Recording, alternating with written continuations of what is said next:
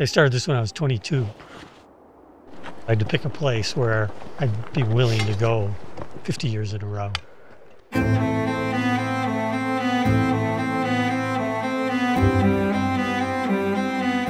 The goal was to watch these glaciers respond to climate change for 50 years. Here in the North Cascades, the glaciers are beautiful, but they're also a precious resource to communities who use it for water resources, to irrigation, hydropower, going up those same rivers, our salmon. That's why I chose this place to study the glaciers.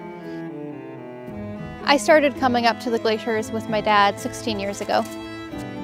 We're measuring the mass balance of these glaciers, snow depth, terminus position, surface elevation. This is the Lower Curtis Glacier. Still active, it's flowing. It's a living thing that is supplying really important meltwater to the whole region. What we've been seeing is that it's losing 2 to 3% of its entire volume every year. We already know what the future of this glacier looks like because we've seen it at another glacier we monitor for the North Cascade Glacier Climate Project. As it melts, it's coming right through this little channel.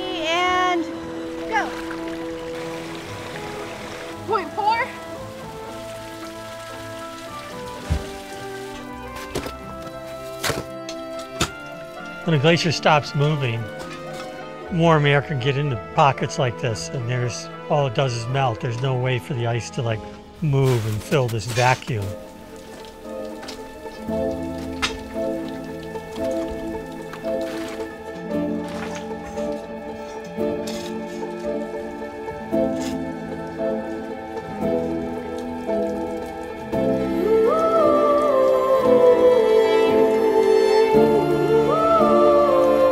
In the heart of the glacier, and the fact that we're here means it's no longer beating.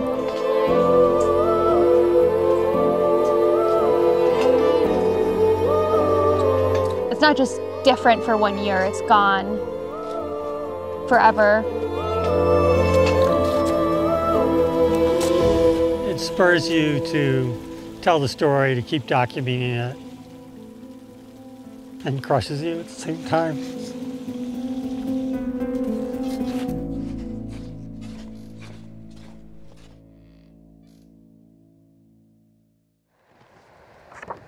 I think it's really hard for people to connect with how big climate change is. Art helps people to feel why these stories matter and how these changes affect them. That's why I want to make art that can help communicate our research. The main data story in this painting is about glacial systems that feed rivers that go out into the sea, and the temperature graph is tracing when heat reaches a critical threshold for species like salmon. I think data tells a really great story. It can share changes over time. But I also know that for a lot of people, that's not going to connect with them.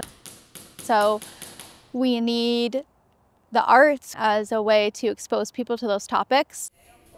Getting to create a glacier art show fully inspired by that has been one of my dreams for a long time.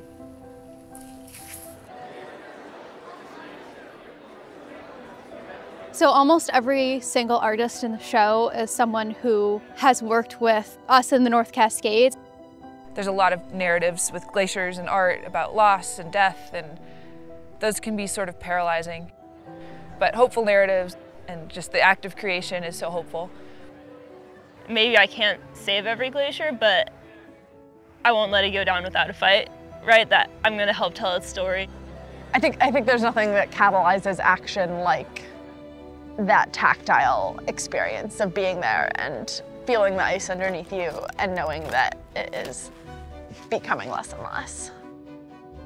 Our goal is for people who come in and see the space and see the art to just learn a little bit more about some of these glacial landscapes that are in their backyard.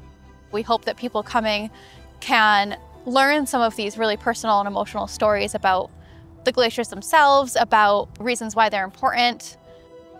My hope is to just keep telling these stories that connect with people and inspire them to care